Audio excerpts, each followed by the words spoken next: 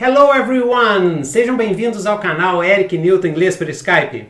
Eu sou o professor Newton e junto com a professora Érica, nós trabalhamos com aulas particulares de inglês por Skype focadas em conversação e para todos os níveis a preços acessíveis.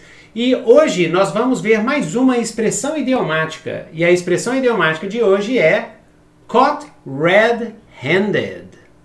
Caught red-handed que na tradução literal seria pego com as mãos vermelhas, é, é usada quando queremos dizer que alguém foi pego fazendo alguma coisa errada. Por exemplo, colando em uma prova, roubando algo. É uma expressão que significa pego em flagrante. Então veja essa expressão nesses exemplos.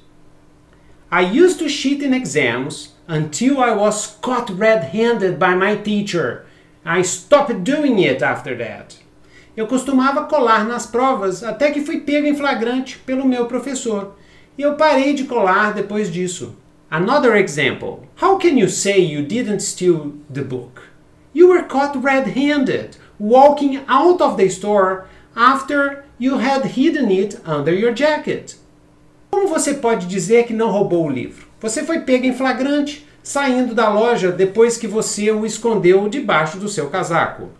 Thanks for watching! Essa foi a nossa expressão idiomática do dia. Se você gostou da nossa dica de inglês, dê um like e se inscreva no nosso canal. Quem quiser aulas particulares de inglês por Skype, basta entrar em contato comigo ou com a professora Érica. Um grande abraço e see you next class!